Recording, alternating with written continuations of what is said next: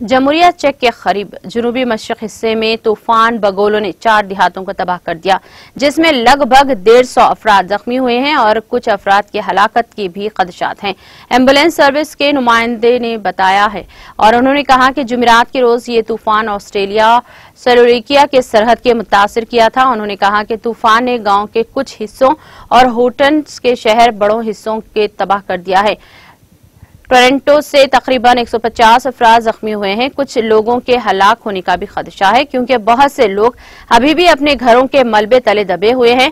Mrs ने कहा कि ऑस्ट्रेलिया और सेलोरिका के डायरेक्टर, डॉक्टर और फायर फाइटर्स एक दूसरे की मदद कर रहे हैं।